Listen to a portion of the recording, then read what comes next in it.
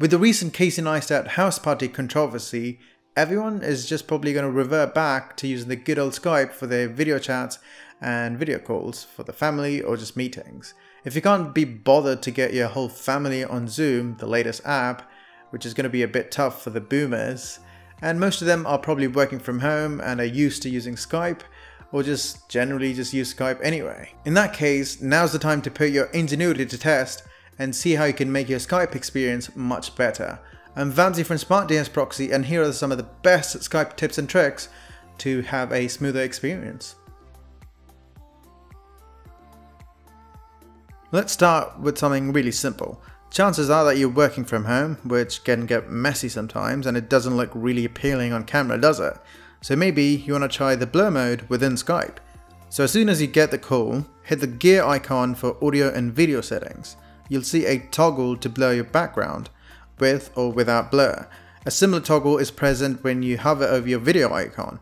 Now there's no slider to increase or decrease the depth of field, but it does use AI to do it dynamically. So if there's something sensitive in the background that you don't want others to see, this is as good as it gets without a DSLR. Now you'd know that your phone camera is much better, miles better even, than your laptop's webcam, or in case of most desktops, no cameras at all. And even buying one from Amazon is rather cumbersome and isn't viable because of the lockdown. Well, how about we use your smartphone as your Skype camera?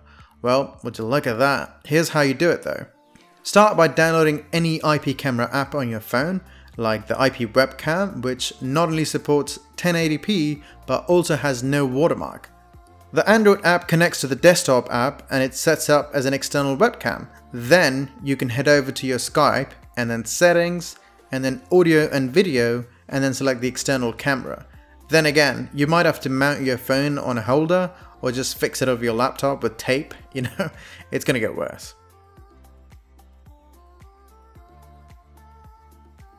So similar to the external camera, you might not have an external mic or even a good pair of earphones. So in that case, you can use your phone as an external mic.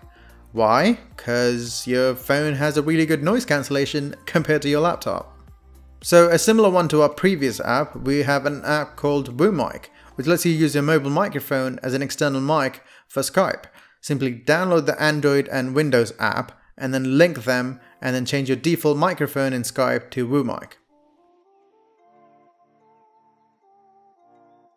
Krisp is an amazing tool that lowers down the ambient noise during Skype calls.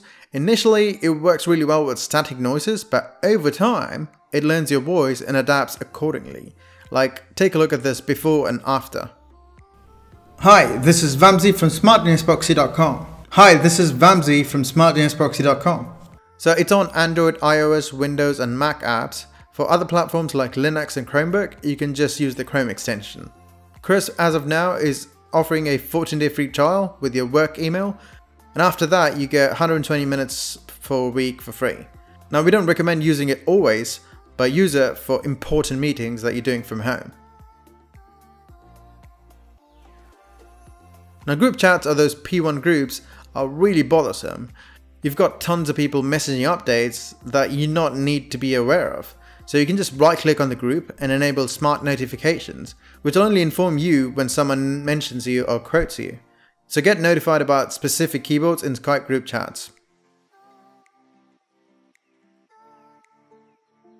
Okay, I know this is a native feature, but it comes super handy. So if you're attending an online lecture or let's just say an important webinar, you can go ahead and record the entire screen and it'll be available for everyone who's on the call. Simply click on the plus button on the bottom right corner of the call window and then click start recording. The recording stays for 30 days on the chat for anyone to download, but you can always take it offline and save it as an MP4. Oh, it also works on mobile, just like most tips on this list. Okay, guilty as charged. I used to do this a lot previously. Like I'd redirect my Skype business calls to my Skype personal account. Well, you obviously know there's a way to call forward your Skype calls on your mobile, but it's paid and it would cost you about 7 to 8 euros a month.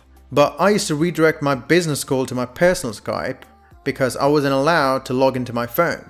This way I can shut my laptop, do my regular errands, and then come back and log in as nothing happened. Skype has a new feature today known as Meet Now.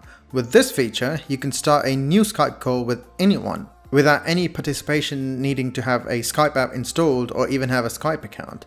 Here's how it works. To start the call, visit the Skype Meet page, I'll have a link in the description below, and then click on create a new free meeting to invite participants.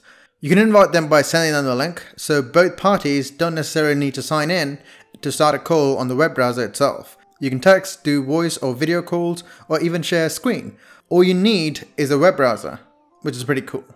Now this isn't a tip per se, but more like a PSA. So yeah, unless the person actually reveals their Skype ID or location, it's almost impossible to figure out someone's number or location. Now a lot of videos out there claim that they can use the ID to figure out where your net's at or stuff like that. But trust me, it's mostly their ISP or proxy. With all that said, expect this setup for a few more weeks because, you know, with the quarantine and whatnot, because we have to make do with what we have at home. But in the meantime, do let me know which tip worked for you best in the comment section below. That way I can pin it and others can find it useful as well.